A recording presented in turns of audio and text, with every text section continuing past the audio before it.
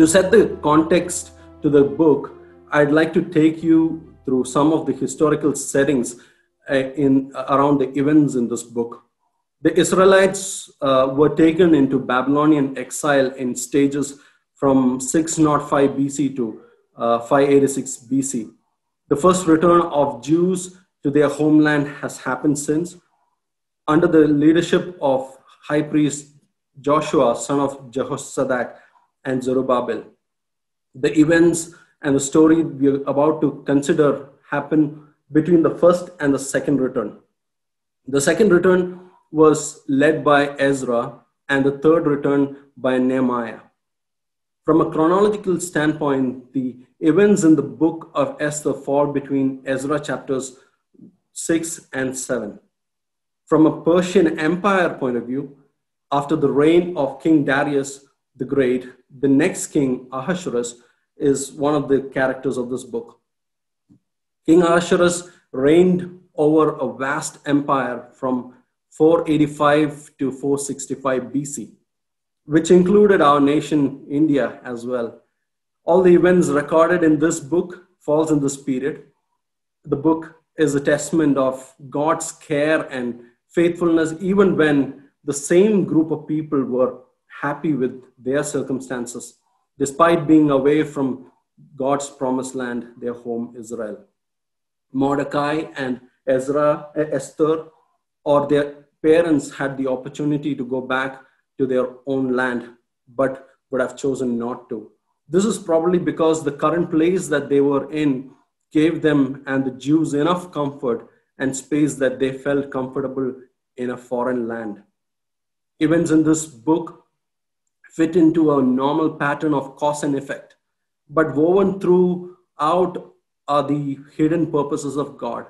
The main hero of this book is God, who works behind the scenes to accomplish his purposes and to preserve the very race through which he would unravel his grand plan of salvation for the entire humanity.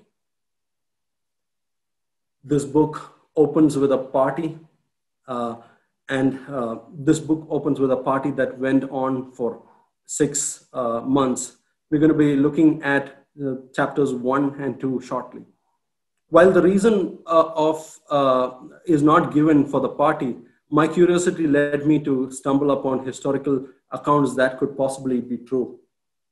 In 483 BC, King Ahasuerus was getting ready to fight in the Battle of Thermopylae against Greece. It was probably before this battle that he throws a party, and at the end of the party, he gets rid of his uh, queen Vashti. But as history reveals, he loses the battle, and in the and in 479 BC, he chooses his uh, new queen Esther. Since we have a lot to cover, we'll not be dwelling on the rest of the uh, uh chapter one which elaborates the selection process in the, uh, for the next queen. This book, uh, Esther, has similarities and contrasts with the historical accounts in the book of Daniel, as both the books, both these books records the historical accounts of Jews in exile outside of Israel. While God gave Daniel favor in the uh, sight of King Nebuchadnezzar, Daniel chapter 1 verse uh, Daniel chapter 1 verse 9 says and and God gave favor and uh, compassion in the sight of the chiefs of the eunuchs. Just a second. However when we see that uh, Esther won favor in the eyes of the officials in the king's palace and also more importantly in King Ahasuerus' eyes. Also, while Daniel refused to take part in the king's table, here we see in this book that Esther identifies herself with the procedures and customs of the palace to the extent that she does not reveal her true identity. In the story, as Esther moves into the palace to be part of the selection process, naturally a question arises as to how and why was she part of the selection process, knowing that the process is for a pagan king. There are two possibilities in my mind. Mordecai, the first possibility is that Mordecai would have asked her to be a candidate in the selection process. Now, in this scenario, Mordecai probably had her safety in mind when he asked her to be a candidate for the queen's position, as he was at the king's gate, which meant that he was some low level, lower level official in the king's palace handling transactions of the common public on behalf of the king's secretariat. Esther also had very had to make very difficult moral choices during the selection process, as we saw earlier, and even more. Human choices are of great importance and have profound consequences, whether good or bad. But it is, but this is exactly where we learn about God. It is God working through human choices and decisions, good or bad. He achieves his perfect goals not through our best intentions or desires. Even through our sin and compromises, he proves to be sovereign. In this scenario, this, these Jewish characters, Mordecai and Esther, are not heroes to be emulated. In fact, they are far less than perfect, but yet the Lord uses them to accomplish his purposes for the Israelites. Dear friend, if you are ruing over or regretting a wrong choice or a decision that you've made or a sin that you've committed, let me encourage you that it's not over yet.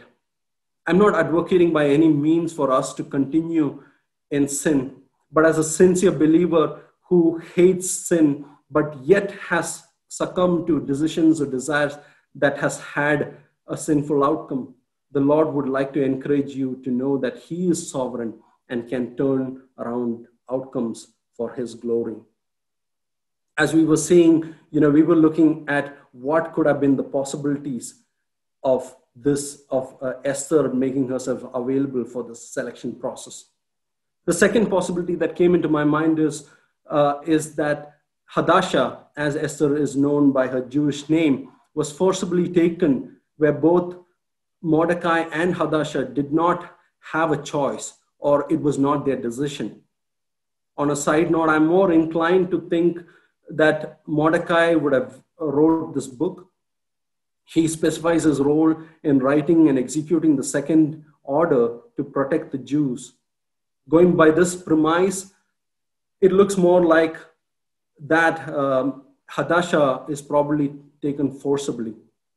Else, Mordecai would have indicated that he put her in the contest instead of leaving it vague. In this scenario, we see Hadassah finds herself in a situation in which she doesn't have any say.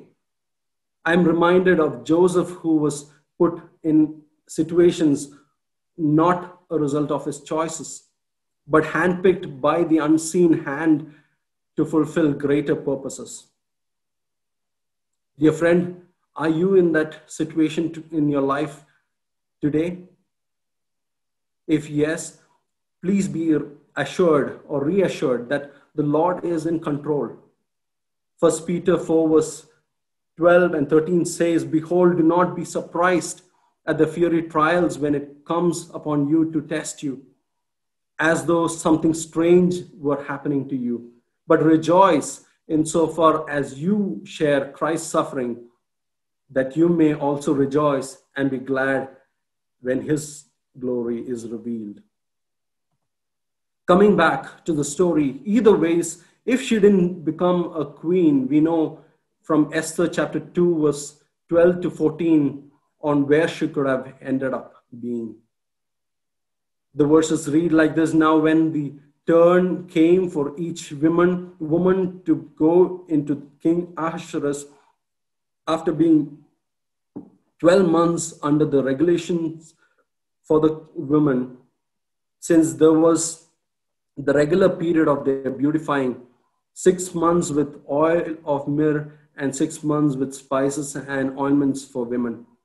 When the young woman went in to the king this way, she was given whatever she desired to take from her, uh, take with her from the harem to the king's palace.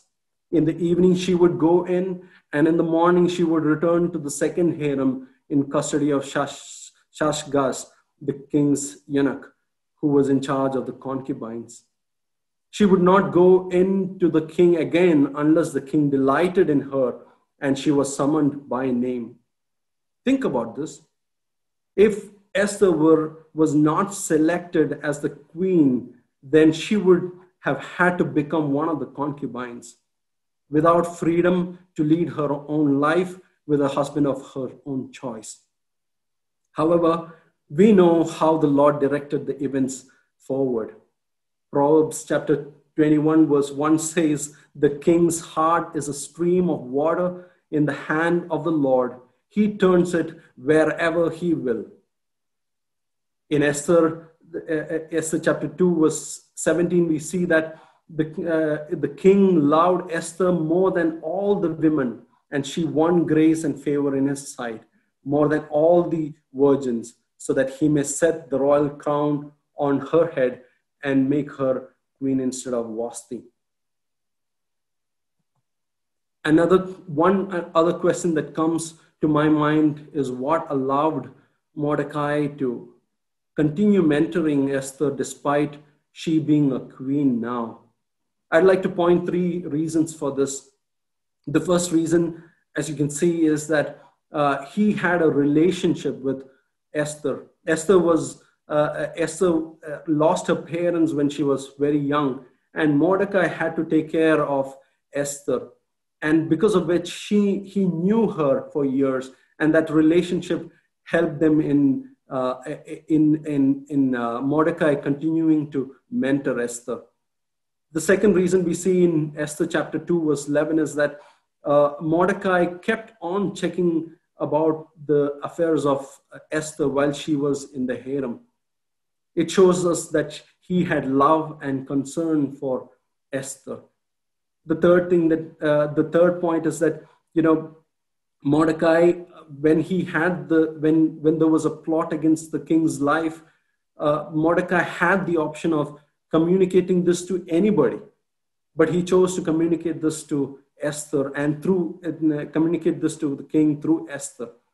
That shows that he has confidence in Esther we move on to the next uh, four chapters, chapter 3 to 7. After mentioning about the heroics of Mordecai at the end of chapter 2, we see a twist in the smooth progress in events we witness till now. The villain of the story is introduced in the person of Haman. Esther chapter 3, verse 1 and 2. King Ahasuerus promoted Haman to be the prime minister of the kingdom. Mordecai does not bow before Haman.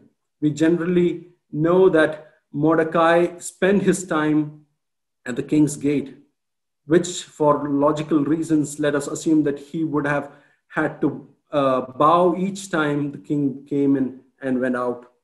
I don't think it, this was an intentional disrespect to the position that the king bestowed upon Haman. And I don't also think that, uh, that uh, Mordecai had any reluctance uh, to bow because of the Jewish, uh, you know, uh, law which said that, or, or the commandment that uh, God gave to Moses that you should not bow before any, before any other gods or before anybody. But that's not the case here. I don't think there is a bit of history we have to know in order to understand why Mordecai had an issue to bow before Haman.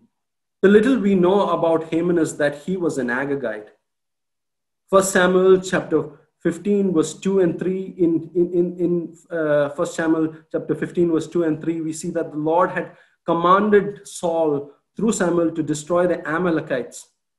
However, we know that Saul spared the life of King Agag whom later Samuel had to kill.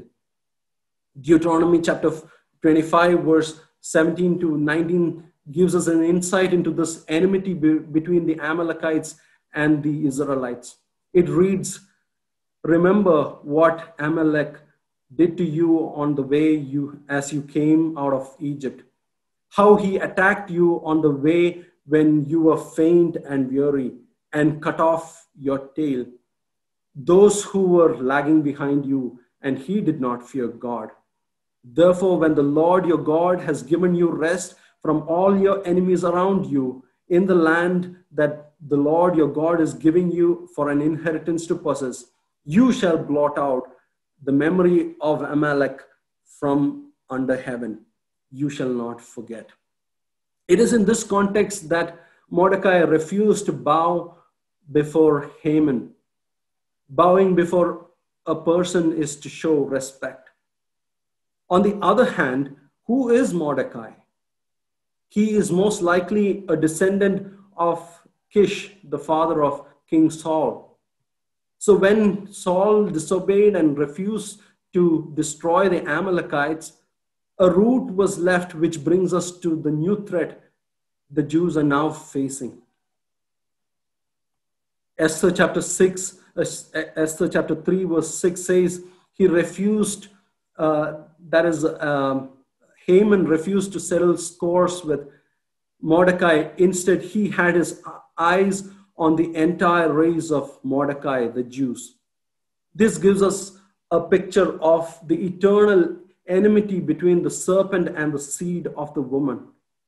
Earlier, we saw how the palace gave us a picture of the world, and here we see Haman, the enemy of the Jews, the second in command, as a person calling the shots and influencing the king in the wrong direction. Is this something we can relate to in our present day and age? Do we see the threat the ruler of this world pose on God's children? There is nothing to fear. Psalm 91 to uh, 91 verse 1 to 10 tells us the attitude we ought to have and the attitude Mordecai demonstrated. Mordecai was full had full confidence in the God he believed. Verse 4 says he will cover you with uh, his pinions or feathers and under his wings you will find refuge. His faithfulness is a shield and buckler. John chapter 12, 31 to 32, uh, you don't need to turn there, it's there on your screen, gives us the hope and the confidence to have this attitude in the face of the threat in front of us. Through Christ's victory over Satan, we are assured of our victory. While it is only Mordecai who refused to bow before Haman, evil Haman harbored hate against the entire Jewish race, as we discussed earlier. He now successfully gets a decree signed by the king to move forward with his plan to wipe out the Jews from the face of the earth. Haman goes on to pay for the expenditure to carry out this massacre, one of its kind, probably fiercer than the Nazis' resolute plan to destroy the Jews in more recent history. Interestingly, Queen Esther does not get to know about this till her servants or attendants tell her in chapter 4, verse 4. The decree went out of the very palace in which she resided as a queen. Isn't this our story too? That in the comfort that the world offers, we often miss to perceive the very threat to our lives from the enemy? What are we worried about today? Our job security, our bank balance, flamboyant lifestyle? Have the cares of this world carried us far away from the pain and the hardships our fellow brethren face elsewhere for the sake of the gospel? Are we insensitive to the imminent threat that's looming large over our brethren and even on our own selves. Queen Hester, who concealed her identity, does not know about the threat to her own life simply because the people around her did not know who she really is. She concealed her real name, Hadassah, as well as her identity, albeit at the instance of her uncle Mordecai. But we see how gracious our God is in making her to be the mediator for her people. Here we see the grand plan of God unfold so beautifully. We see how God had prepared a person of influence in the very palace of the king who decreed the annihilation or the destruction. When the decree or the order reached all the provinces, the Jews all over mourned with fasting and weeping and lamenting in sackcloth and ashes, as we see in chapter 4, verse 3. When Mordecai asked Esther to speak to the king to save the Jews, Queen Esther initially showed her reluctance to follow Mordecai's command. The woman who obeyed Mordecai without questions till now is now reluctant to obey her mentor. We, she saw the physical threat that loomed over her own life, but she couldn't for a moment see the threat that was over the entire Jewish race. We see how her concealed identity is now becoming a huge threat to her own life. In Esther chapter 4, verse 13 to 16, not only did Mordecai see the big picture, he also had faith in the promise God made to Abraham that he will make Abraham a great nation. Genesis chapter 12, verse 2. Esther had a choice to make whether to come out of her concealed identity with the huge risk of losing her own life or to stay within that concealment. She now understands the reality and how far she was from it. Esther was almost certain of her death. In that verse, we see that she mentions that if I perish, I perish. But yet she was willing to be identified with her people, God's chosen. We see the likes of Moses and Joseph, who similarly make unique choices in order to stand in the gap for their brethren. Are we willing to identify ourselves with our brethren and stand as praying saints or use our position, knowledge, power in order to protect or ask for protection for God's people? Esther asked Mordecai and all the Jews in Susa to fast for three days. Verse 17 says, Mordecai did everything as Esther had ordered him. Mordecai willingly obeyed his cousin, whom he had brought up as his own daughter. In, in chapters 5 and 6, Esther goes to meet the king despite the risk to her own life. Though it is against the law, as we see in uh, as we see in the previous chapter verse 16 chapter 5 verse 2 says she won favor in his sight and he held out to esther the golden scepter that was in his hand. Esther goes on to plan a banquet for the king and haman in order to reveal the plot planned by haman. We see god how god gives wisdom to Queen Esther and thereby rolling out his plan of action. In these two chapters, chapter 5 and 6, we see we, it reveals us the sleeplessness of two different people for two different purposes.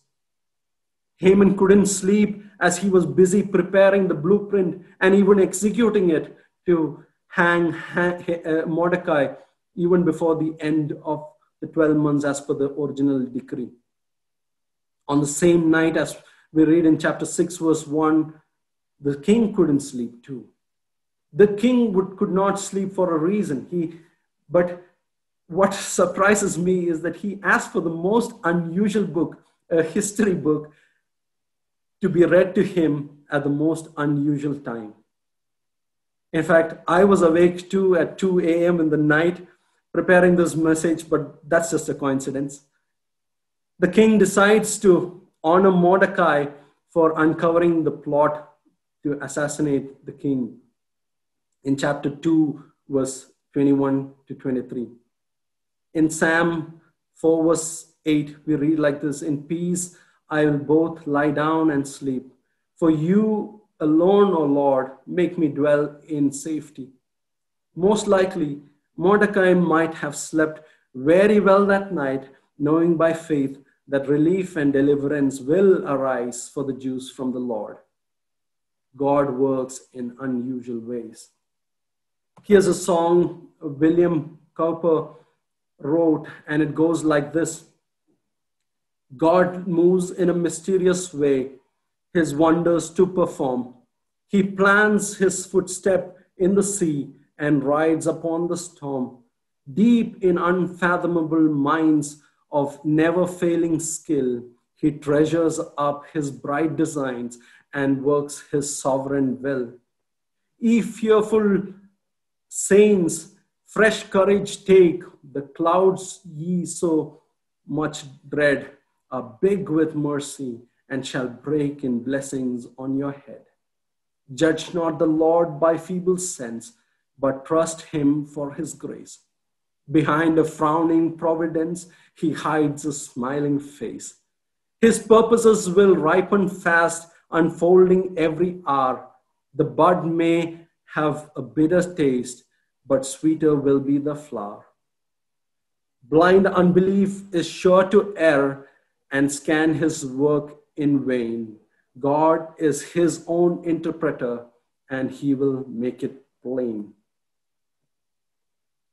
Was it a coincidence that Haman was in the palace uh, court in the night wanting to speak to the king? Certainly not. God has a sense of humor. While Haman is harboring hatred toward Mordecai, the Lord moves the king's heart in favor of Mordecai. The honor the king desires to bestow is felt by none other than the, the person harboring the hate. Haman is so proud, blinded by pride, that he thought, Who else is worthy of the king's honor except him? Proverbs chapter 16, verse 18 says, Pride goes before destruction, and a haughty spirit before a fall. Imagine the humiliation that Haman went through when he had to parade Mordecai, his worst enemy, through the city in order to fulfill the king's order to honor Mordecai. The fall was written all over. Haman was never, uh, Haman never saw it coming. The ultimate victory belongs to the Lord. First Corinthians chapter 15, verse 24 to 26 says, Then comes the end when he, Jesus Christ, delivers the kingdom to God the Father after destroying every rule and every authority and power. For he must reign until he has put all his enemies under his feet. The last enemy to be destroyed is death. Even Haman's wife and friends who helped him plan the plot to kill Mordecai knew that Haman will fall before Mordecai. In chapter 7, Queen Esther reveals Haman's plot, and the king is furious and orders that Haman be hanged. In Esther chapter 7, verse 3 and 4, we see Esther identifying herself with God's people. God's work through Esther had just begun. Now, the enemy of God's people, eh, eh, now the enemy of God's people, Haman, is hanged in the very gallows he prepared for Mordecai. In Esther, we see a mediator who put her own life at the risk to rescue her people. It so much reminds me of Christ's work on the cross of Calvary to defeat the foes of darkness. The next and the last portion that we will be considering is chapters 8 to 10, which I've titled as The Rescue. Esther gets Mordecai into the palace as there is much uh, there is a much larger issue. The first order passed by the king under the direction of Haman cannot be revoked. This tells me about another order that is passed that cannot be revoked. The order that the wages of sin is death. There's got to be another order for the defense of the Jews. Esther not only identifies herself with her people, but she throws herself at the feet of the king to plead on behalf of her people. Chapter 8, verse 5 says, if I have found favor in his sight, if I am pleasing in his eyes. Verse 6 says, How can I bear to see the calamity that is coming to my people? Or how can I bear to see the destruction of my kindred? We see a beautiful partnership between Esther and Mordecai. While Esther persuades the king, Mordecai draws up the draft for the second order. Three months after the first order, the second order goes under the careful direction of Mordecai, the newly declared prime minister. Chapter 9, verse 4 says Mordecai was great in the king's house, and his fame spread throughout all the provinces. For the man Mordecai grew much, grew more and more powerful. This reminds me of David who replaced Saul. And First Chronicles chapter 11, verse 9 says that David, he grew greater and greater, for the Lord of hosts was with him. Surely the Lord of hosts is with Mordecai. The second order empowered the Jews to accomplish what Saul left behind in 1 Samuel chapter 15. The new order says the king allowed the Jews who were in every city to gather and defend themselves to destroy, to kill, and to annihilate any armed force of any people or province that might attack them, children or women, children and women included, and to plunder their goods. Please note, to plunder their goods. On the same day as that of the first order, but on that day, we see that the Jews struck all the enemies with the sword killing and destroying them, and did as they pleased to those who hated them. 9 verse 5. This is this time, though, as we read in chapter 9, verse uh, 10, uh, 15, and 16, we see that the Jews laid no hands on the plunder. There was gladness and rejoicing among the Jews all over. The ones who sought to destroy God's people were finally destroyed. Those who planned evil against God's chosen will not prevail. Your hand will not will find out all your enemies. Your right hand will find out those who hate you. You will destroy their descendants from the earth and their offspring from among the children of men. Though they plan evil against you, Though they devise mischief, they will not succeed. Psalm 21, 8, 10, and 11. Let me conclude now. Esther needed a Mordecai to draw up a plan and execute it. But when we when our Lord Jesus Christ, the last Adam, came down into this world to fulfill the second order, that with the shedding of blood there is remission for sin, he did not need a Mordecai to help him, for he himself was the beginning and the end. He is before all things, and in him all things are held together. Colossians chapter 1, verse 17. The kingdom of Ahasuerus provides a stark contrast to the kingdom of God the kingdom of the world demands that we follow its evil ways when we accept to be uh, evil ways. When, when we accept to be part of the kingdom of God, we come under a wise king, the one who does not need anybody's counsel, unlike King Ahasuerus, who had to rely on his wise men, Haman, and then later on Mordecai. There's going to be a day when the whole world will bow before this righteous King, our God. The feast we'll have in his kingdom will be greater than, the, than that which was served in the kingdom of Ahasuerus. While the feast of the king Ahasuerus was limited to six months, the feast we'll be part of in the kingdom of God will be for eternity. In King Ahasuerus, we see a self centered king who banished his bride on a drunken whim.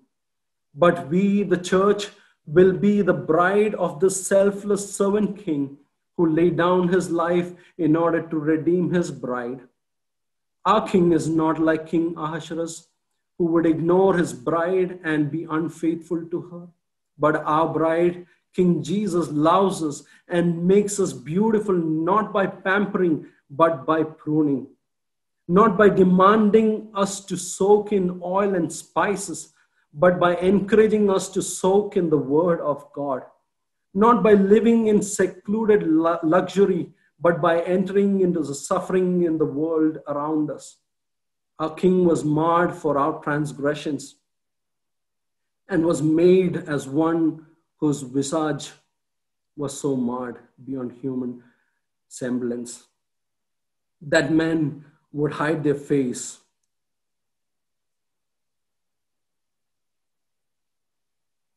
so that we who were marred with sin would be made beautiful. In his kingdom, we have a better mediator than Esther.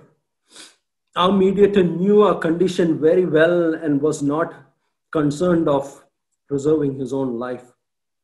In fact, he came into this world on his own to give himself up. He didn't need to be persuaded by a Mordecai, but instead decided to intercede for us before the foundation of the world. He didn't risk his life like Esther did. Instead, he willingly paid the cost of our redemption.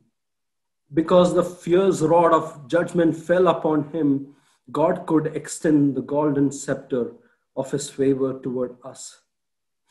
We need not fear to approach before his holy and awesome throne, but instead we are encouraged to come boldly before the throne with confidence, knowing that we are always welcome. We are born into a kingdom under an irrevocable decree that threatens our life. But our King has issued another decree that will be our salvation, which is but the free gift of God, his eternal life in Christ Jesus our Lord. Brethren, the pulls and the pleasure, pulls of the pleasures of the kingdom of the world is strong. This world wants us to identify with itself. It wants us to think and speak like its inhabitants. Remember, the Jews were not in their homeland, they didn't want to go back. But the kingdom of God calls us to identify ourselves with its inhabitants, who has the character of its righteous king. This would mean that we would have to lose our identity in this world. We would suffer injustice, be hated and voiceless. But, brethren, don't lose heart, for the kingdom of God is at hand there will be a great reversal of fortunes. Jesus himself said in Luke chapter 21, verse 12 to 19, but before all this, they will lay their hands on you and persecute you, delivering you up to the synagogues and prisons, and you will be brought before kings and governors for my name's sake.